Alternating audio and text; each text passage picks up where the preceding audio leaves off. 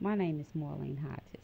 I was born in this neighborhood. I was born in um, Carr Square Village.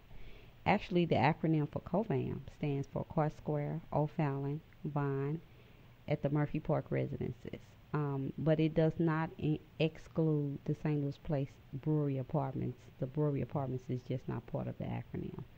But I've been living here most of my life in St. Louis, and uh, I moved out for a short period, say about 10 years, came back to St. Louis, and uh, this was the last place that I thought I would be. I would end up back in my old neighborhood, working in my old neighborhood, and loving it.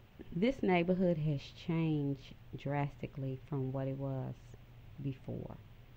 I think families that are still here families that have come back feel good about the change, uh, especially when you talk about the living conditions and the choices that you have uh, on how you want to live, how you want to raise your family coming up.